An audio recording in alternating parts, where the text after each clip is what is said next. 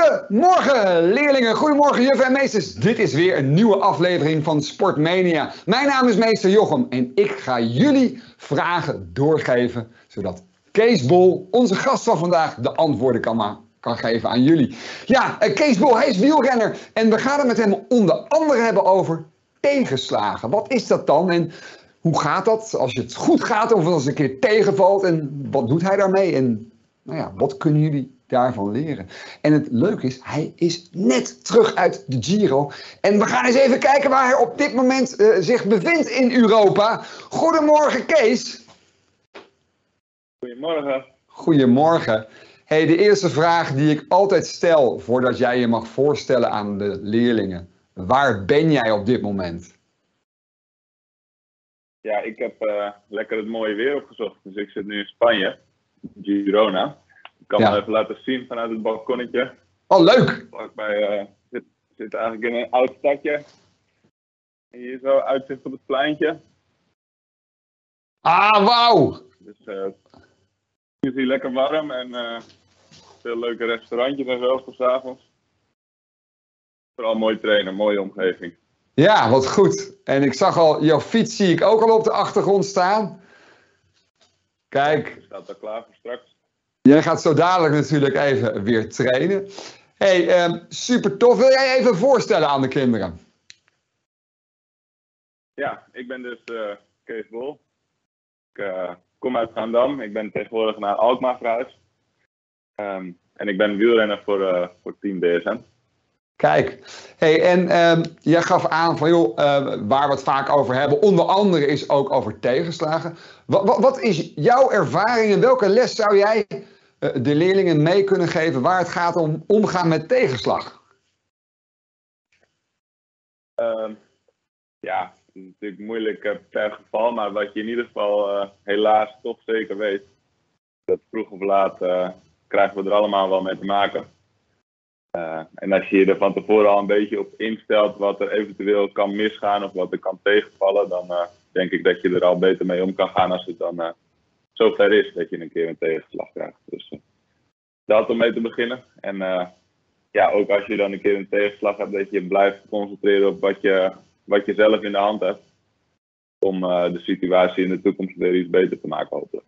En niet laten afleiden door dingen waar je eigenlijk niks aan kan doen. Kan je daar een voorbeeld van geven? Want jij bent sprinter, dat zagen we net in de beelden. Jij bent de wielrenner die eigenlijk op de, op, ja, als het grote peloton aankomt sprinten, dat jij in stelling wordt gebracht om de wedstrijd te winnen. Over waar, wat, waar kan je tegenaan lopen? Waar kan je je op voorbereiden? Um, nou, het kan bijvoorbeeld zo zijn. Uh, ik, ik heb natuurlijk niet in de hand wat uh, al mijn concurrenten allemaal doen. Ja. En uh, uh, wanneer die de sprint aangaan, maar ook uh, of die misschien een stuurfout maken of ja, iets dergelijks. dus nou, ik heb bijvoorbeeld twee weken geleden in de Giro nog, volgens mij had je daar ook een filmpje van klaar. Ja, zal ik het even laten zien? Ik zet hem er even in, daar komt hij. En vertel maar wat er gebeurt. Ja, dus ik ben de tweede in het zwart daar en hier krijg ik eigenlijk straks in één keer een beuk. Ja, boom. Uh, en, ja, Hij komt nog een keer. Zagen mijn, zagen mijn kansen er eigenlijk goed uit, want we kwamen met snelheid opzetten. En uh, nou, ik wou gaan voor een mooie uitslag, maar dat is hier wel overboord gegaan. Wat gebeurt, maar wat gebeurde daar precies? Ja, die jongen in het wit die wil eigenlijk ook naar voren natuurlijk. En ja, daar dacht hij dat hij wat ruimte zag uh, waar hij ook tussendoor kon, maar dat, uh, dat kon dus duidelijk niet. Um, en toen was het eigenlijk ook net de pech dat de jongen voor mij, die dus mijn ploeggenoot, die mij ja. aan het helpen was, dat die ook net eigenlijk aan de kant wilde gaan, omdat hij uh, zijn werk zat erop. Ja. En toen zaten we eigenlijk klem tussen, ja, tussen mijn ploeggenoot en, de, en het hek. Dus dat was wel, waren wel even een paar hele spannende secondes. Ja gelukkig uh, liep het goed af. We zijn niet gevallen, maar uh, ja, de, de kansen op een mooie uitslag waren wel, uh, waren ja. wel bekeken. Hey, de, de, eerste vragen die zijn al binnengekomen. Um, en de punt die vraagt, vind je het niet stom dat je zoveel van huis bent? Ja, ene kant wel, andere kant niet. Het is natuurlijk ook heel leuk dat, ja, dat ik van alles van de wereld zie. En, ja. zoals nu weer lekker hier in een mooie omgeving kan trainen. Ja. Ik heb het geluk, mijn vriendin die mag van haar werk mag ze veel thuis werken. Ja. Dus, die mag nu bijvoorbeeld ook, is ze mee en dan kan ze, kan ze hier, als de wifi maar goed genoeg is, dan kan ze gewoon werken. Ja. Dus zo neem ik af en toe ook ja, thuis eigenlijk een beetje mee op reis. Oké. Leuk. Um, groep 7b die vraagt: hoe vaak train jij per week? Um, ja, eigenlijk elke dag. En dan uh, heel verschillend. Zoals uh, vandaag staat er, uh, staat er een lange rit op het programma. Dan fiets ik vijf uur lang. Ja. Um, overmorgen bijvoorbeeld, dan heb ik twee kortere trainingen op het programma. Dan ga ik 's ochtends twee uurtjes fietsen. En smiddag ga ik dan naar de sportschool voor wat krachttraining. Um, maar eigenlijk is het wel bijna alleen maar fietsen. Dus eigenlijk wel elke dag fietsen en dan ja, heel wat uren en af en toe onderweg wat oefeningetjes, sprintjes. Ja, de punt die vraagt, wat vind je het moeilijkste aan wielrennen?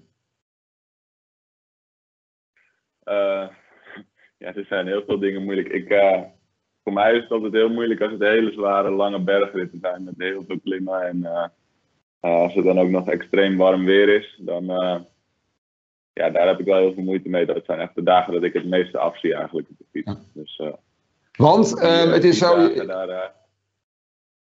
De bergen is niet helemaal jouw terrein? Nee, nee eigenlijk niet. Ik ben best wel groot en daardoor ook best wel zwaar. En je moet natuurlijk iedere kilo die moet mee die berg op.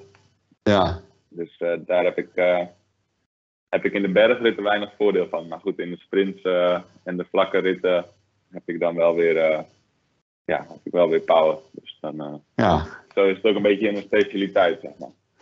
Ehm, Jesper die vraagt, baal je dan als je zo klem komt te zitten? Hoe ga je daarmee om? Wat er gebeurde, wat we net lieten zien ook in het, in het beeld. Ja, nou toen bijvoorbeeld was ik eerst, ik denk de eerste 15, 20 minuten even heel erg boos. En ja, dat mag denk ik ook wel eventjes even. Op wie ben je dan boos? Even, ja, in eerste instantie op die jongen. En uh, ook een beetje op de, op de organisatie dat ze de finish in een kleine bocht hadden gemaakt. Dat mag eigenlijk ook niet. Ja. ja, gewoon eigenlijk op alles wat er gebeurd is, zeg maar. Dus dan moet ik even stoom afblazen, maar dan later ja, kan ik ook zien uh, dat er bijvoorbeeld. Het had nog erger gekund. Ik had ook heel hard kunnen vallen, bijvoorbeeld. Ja. En dat is gelukkig niet gebeurd. Dus dat is een ding. En eigenlijk. Uh, ja, ook nog eens goed bekeken wat gebeurt nou echt. Dus nog een keer de situatie proberen te begrijpen. En had ik zelf misschien iets anders kunnen doen? Nou, dat denk ik niet. Dus ja, dan kan ik me nog wel extreem druk erom maken. Maar eigenlijk was het echt niks anders dan domme pech. En kan ik volgende keer alleen maar weer proberen om, om nog zo'n kans ja, met beide handen aan te grijpen en, en ervoor te gaan. En ja. niet bij de pakken neer te gaan zitten of volgende keer heel iets anders te gaan proberen. Ja. Groep 7b die vraagt: wat is je gouden tip om goed te worden in wielrennen? Uh, ja, heel veel fietsen. Heel veel fietsen. Eigenlijk, ja, dus ik denk dat het vooral belangrijk is dat je dat heel leuk vindt. Dus dat je het leuk vindt om, uh, om te fietsen en ook te spelen op de fiets een beetje. Dus uh, een keer een sprintje te trekken of ehm, ja, hard door een bocht te gaan of juist dat ik veel wheelies oefenen. Eigenlijk ja. op jonge leeftijd denk ik dat je gewoon heel veel uren moet maken en heel veel verschillende dingen op de fiets allemaal moet proberen. Ja. Uh, misschien een keer op vakantie een mooie berg beklimmen. Maar uh, ja, vooral als je het maar uh, als je het jarenlang volhoudt om het heel leuk te vinden om heel veel te fietsen, dan ga je uiteindelijk vanzelf ook wel hard fietsen, denk ik. Ja, de, de, en ik, het is leuk. Eigenlijk bijna iedereen die we te gast hebben in Sportmania zegt ook van ja, je moet het vooral heel erg leuk vinden. Dat is toch wel weer ja, ook. Maar anders hou je het ook niet vol. Nee, Nee, absoluut. absoluut. Hey, uh, jij weet, wij vragen altijd aan uh, onze gast, uh, aan onze sporter, of ze iets kunnen laten zien aan beweging voor de kinderen. En dat zou ik ook ondertussen aan jou willen vragen, Kees. Zou jij iets kunnen voordoen waarmee de kinderen zelf ook even in beweging kunnen komen? Ja, dan ga ik weer eventjes verplaatsen een beetje. Ja, Dat we wat ruimte hebben. Fietsen is natuurlijk eh, eigenlijk bijna alleen maar met de benen. ja. Dus, eh, nou, zoals ik net al zei, ik ga ook... Dan, dan- dan moeten de kinderen even gaan staan natuurlijk, hè? Die moet even een stoel aan de kant schuiven. Dus kom maar gewoon even staan, eh, jongens en meiden. En juffen en meesters ook even meedoen natuurlijk. Dan gaan we even actief worden. Wat gaan we doen, En Kees? wat we dan doen eigenlijk... Ja, dus we leggen onze armen op de schouders. Benen ongeveer als de schouders ook. En dan zakken we in, rustig, langzaam. En in één keer omhoog. Echt explosief omhoog. En dan... Nou, dat een stuk of vijf keer. Op, Twee, drie, En is het echt springen dat we loskomen van de grond? nog niet, maar bijna. Dat je net met je tenen maar aan de grond bent. En dat is dus om je een beetje de sprint te trainen. Ja, eigenlijk om de bovenbenen en de billen, die gebruik je ook veel om die eh, sterk te maken. Ja, En dan nu een andere oefening, er komt ook een klein beetje balans bij. ja. Dan sta je zo en dan stap je, grote stap naar voren. Grote stap naar voren. En dan eigenlijk met je knie naar de grond en weer in één beweging terug. Oké, naar voren. En weer terug. Oh ja, ja. hem, eh, je kunt hem ook met de handen op de rug doen. Dan is het iets meer balans misschien. Kan wel een leuke uitdaging zijn. Ik herken dit wel, Kees. Ja, hier ben jij goed in natuurlijk. Nou, hier was ik heel goed in. Maar het is wel een, ik vind het wel heel erg leuk altijd, omdat het inderdaad ook voor je balans heel erg goed is. En ik vind het gewoon leuk Ja. om even weer een beetje energiek te worden door te bewegen. En zo, ma- zo makkelijk kan het dus inderdaad om even wat te doen om, eh om alert te zijn. Tof man, heerlijk. En dit- doe jij dit veel zelf, eh, Kees? Ehm, ja, wel in de sportschool dan. Dus dan ga ik speciaal voor, de, ehm, ja, voor naar de sportschool. Thuis heb ik zelf eh, wat spullen waarmee ik dat goed kan doen. Wat extra gewicht om eh, in de nek te leggen. Ja. Maar eh, ja, als ik een goede periode thuis ben, dan doe ik dat wel twee keer in de week. Ja, oh wat goed. Eh, dan krijg je een vraag binnen ook van, heb je ooit een zware blessure gehad? Ja, helaas wel. Ik ben een paar jaar geleden ben ik eigenlijk heel stom ben ik gewoon thuis gevallen en op mijn hoofd terechtgekomen. Ja, En toen had ik een hele vervelende hersenschudding waar ik eigenlijk, eh, ik denk in totaal eh, uiteindelijk wel eh, een maand of zes zoiets echt last van heb gehad dat ik niet, eh, ja, ik kon wel fietsen, maar niet echt trainen zeg maar. Ik kon niet, eh, ja, niet eh, op het niveau fietsen waar ik, eh, wat ik graag wilde. Dus dat was wel heel frustrerend omdat ik eigenlijk ook, ja als je je been breekt dan weet je van tevoren precies, nou dat gaat eh, zes weken duren. ja. En nu eh, was het eigenlijk allemaal heel onduidelijk. Dus dat was, wel, eh, was toen wel moeilijk. Maar het is gelukkig ook goed gekomen. ja. En ehm, Klein Amsterdam die vraagt, hoe vaak heb je al gewonnen? Ja, bij, op eh, professioneel niveau, dus echt in de profwedstrijd, heb ik, heb ik vijf overwinningen nu. Ja, Ehm, en daarvoor heb ik dan een paar jaar in opleiding gezeten, zoals dat heet. ja, Ehm, en daar heb ik alles bij elkaar, denk ik, ik weet het niet eens precies. Dus in kleinere wedstrijden heb ik denk ik ook nog wel eh, een stuk of eh, twintig overwinningen. ja. Eh, ja, en daar dan nog weer onder bij de jeugd ook nog wel weer wat. Ja. Maar Wat was je, mo- of wat, ook al helemaal niet meer bij. wat is jouw mooiste overwinning? Ehm, ja, dat is altijd het moeilijkste. Ze zijn allemaal speciaal, maar misschien wel eigenlijk dat filmpje wat we net zagen Ja, aan het begin. Dat was in Parijs-Nice. Dat is wel eh, een grote wedstrijd. En eh, ja, dat was wel, eh, vond ik zelf wel een mooie overwinning. ja. Ehm, OBS de Dreammaster, groep 7-8, die vraagt, hoe ben je je profcarrière begonnen?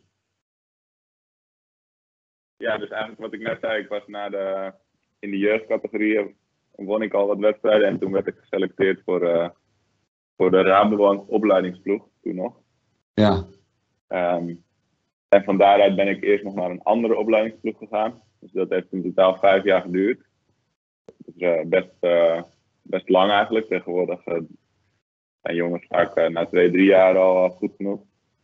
Maar goed, na, na vijf jaar had ik dus ook op dat niveau weer een paar wedstrijden gewonnen en mezelf goed laten zien. En toen kwam ik bij het team Sunweb terecht. Dat is eigenlijk hetzelfde als, als de ploeg waar ik nu fiets, alleen toen had ik nog een andere hoofdsponsor. Ja.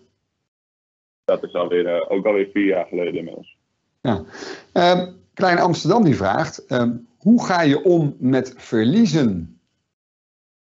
Want dat wil je natuurlijk ja. liever niet. Maar hoe ga je daarmee om? Nee. Ja, dat is wel interessant aan wielrennen. Anders dan uh, bijvoorbeeld uh, voetbal of hockey. Um, eigenlijk zelfs de allerbeste ter wereld die verliezen vaker dan dat ze winnen. Want uh, ja, wij doen in een jaar uh, rij ik wel 80 wedstrijden. Ja. En als ik er drie win, dan heb ik eigenlijk een heel goed seizoen. Dus uh, als wielrenner moet je wel goed om kunnen gaan met verliezen. Want ja, het hoort er nou eenmaal bij dat je veel vaker verliest. Dus eigenlijk ja, oefenen, heel, heel veel doen. En je mag best even, even flink boos en flink teleurgesteld zijn. Maar als je er de volgende dag maar wel weer vol voor gaat. Want als, ja. Je, ja, als je vandaag verliest, dat wil niet zeggen dat je kansen voor morgen minder waard zijn. Ja.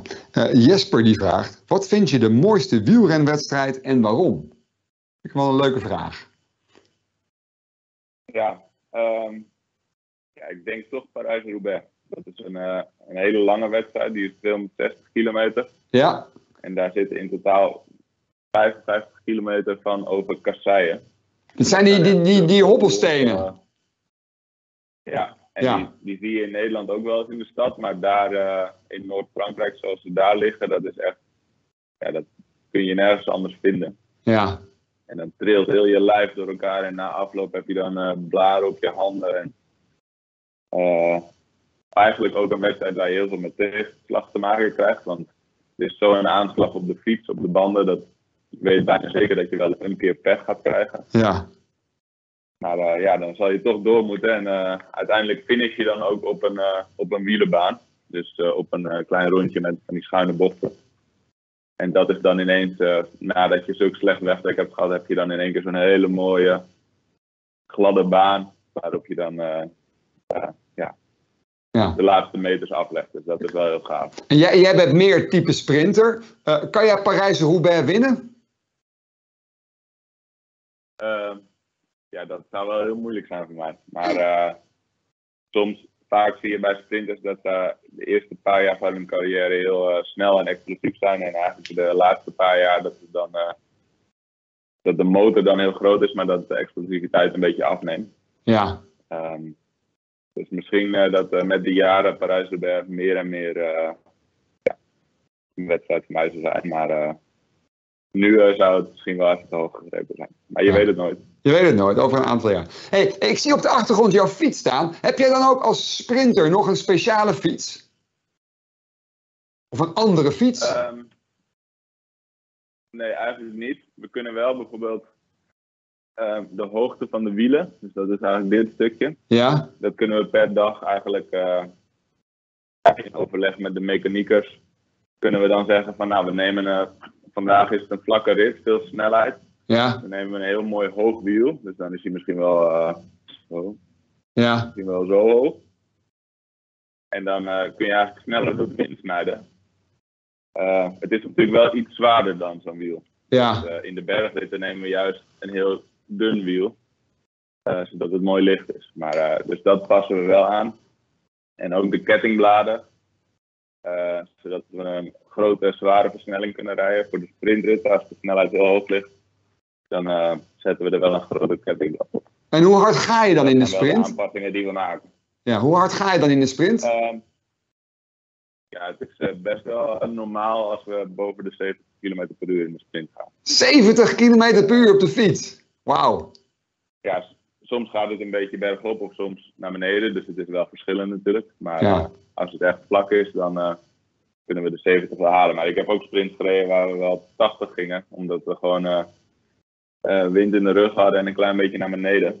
Ja. Uh, maar dat is, ja, dat is mij eigenlijk ook een beetje te gek. Ik vind niet dat we dat denk niet dat dat een goed idee is. 70 is al hard zat. Ja. Dus Eh, niet ook nog naar beneden te gaan. ja. De laatste vraag die ik jou stel, eh, die komt ook van Jesper.